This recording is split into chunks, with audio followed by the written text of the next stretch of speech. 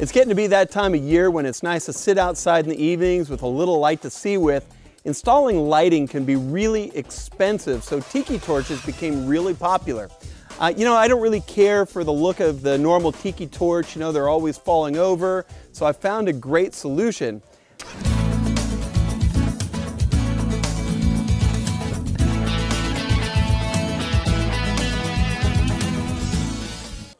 Hi, this is Kevin Fritz with Iron Point Mortgage in Folsom, California. I'm here today at uh, this open house serving wine, so I thought it would be a good time to demonstrate how to make a wine bottle tiki torch.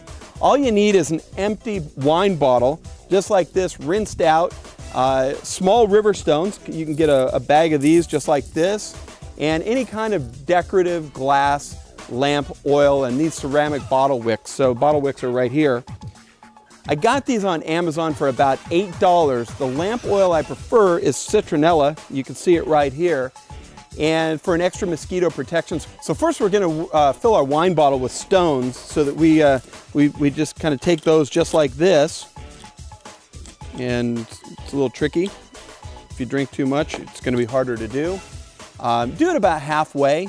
And, uh, and, and, you want to make sure that these rocks aren't too big or else you won't be able to get them in. Probably easiest do it onesie twosie here like this. Go about halfway. Then we're going to add the lamp oil to about uh, right about here. And so all you do is you take your funnel, put it in just like that. You're going to take your citronella, you're going to pour it in just like this. Voila.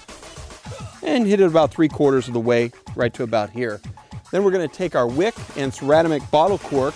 The let the wick soak up the oil for just a little while, just like that. And then you're ready to light. I like to use these in gift baskets of holidays as well. I buy a really cool bottle of wine, write a personal greeting on the bottle with a pen that's made for glass, like this gold pen that we've got. Uh, you take a ceramic bottle cork, some rocks, lamp, oil, and the instructions on how to make their own tiki torch so that they can do it themselves. It's great for those moments when you're in a pinch and you don't know what to give somebody. Pretty simple and inexpensive, right? You can also personalize this idea with any kind of bottle, like beer, tequila, whiskey, Coca-Cola. Just use any direct decorative bottle that you enjoy. I'm sure you're gonna find a lot of great uses for these and ways to decorate them if you're crafty. Speaking of crafty, when you're ready to jump into this hot, hot housing market, give us a call. Uh, we can help you craft a loan to fit your specific needs like the FHA home loan program, which allows you to put down as little as 3.5% down payment. Plus, with those record low interest rates, the prices are great, rates are great. There are several down payment assistance programs as well, so if you're curious, now's a really great time to get started. Let's sit down together, see what's going to fit your needs. Power is in knowledge, and I'd be happy to give you the power and assist you in your journey toward home ownership.